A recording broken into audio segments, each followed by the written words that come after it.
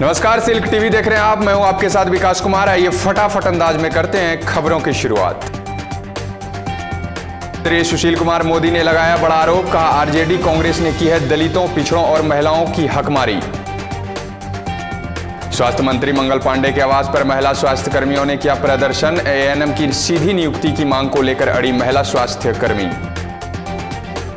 भाजपा के प्रदेश अध्यक्ष संजय जायसवाल ने पंचायती राज व्यवस्था को बताया, सत्ता तंत्र की धुरी, कहा कार्यकर्ताओं को इसे मज़बूत करने में जुटना चाहिए। बिहार में दलितों के नाम पर राजनीति हुई तेज, दलितों के रहनुमा साबित करने में जुटे सभी दलों के शीर्ष नेता।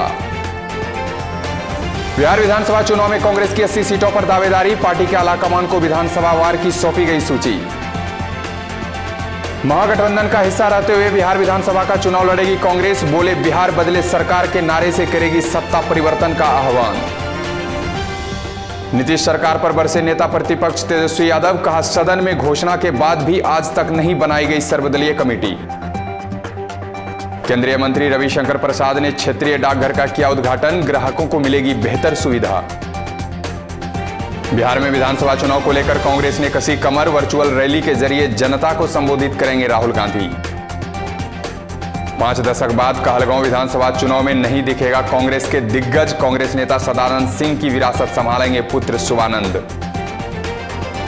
नाथनगर विधानसभा सीट के लिए राजद में मची मारामारी। राबिया खातून अशोक आलोक, पप्पू यादव सहित अपनी दावेदारी पेश करने में जुटे राजद के कई नेता। आयुष्मान योजना को तेज़ी से आगे बढ़ाएगी नीतीश सरकार। मुख्यमंत्री नीतीश कुमार ने बनाया खास प्लान। बेगूसराय में डबल मर्डर से थर्राया इलाका। प्रेम प्रसंग में दो दोस्तों की गला काटकर हत्या, पाँच दिन बाद मिला शव। बिहार के सात शहरों में 43 सेंटरों पर होगी जेई मेंस की परीक्षा। 12 सेंटरों पर 10 लाख परीक्षार्थी होंगे शामिल। बिहार में कोरोना के सक्रिय मरीज़ से छह गुना अधिक कोरोना मरीज़ हो चुके हैं स्वस्थ। राज्य में अभी तक सत्रह एक्टिव कोरोना के मरीज़। राज्य में अब तक एक लाख बारह हज़ार चार सौ पैंतालीस कोरोना मरीज़ हो चुके हैं स्वस्थ। सुबह में रिकवरी दर में लगातार हो रही है वृद्धि। बिहार में कोरोना को लेकर सरकार की बड़ी पहल, नौ मेडिकल अस्पतालों में लगेगी आरटीपीसीआर मशीन, जाँच में आएगी तेज़ी। मास्क नहीं पहनने वालों के खिलाफ कार्रवाई जारी। इस माह पुलिस ने वसूला 70 लाख का जुर्माना। नवगछिया गोपालपुर अभिया गाँव में बीएसएफ जवान की पत्नी सहित सिपाही पुत्र की गोली मारकर हत्या मामले में पुलिस का हाथ अभी तक खाली।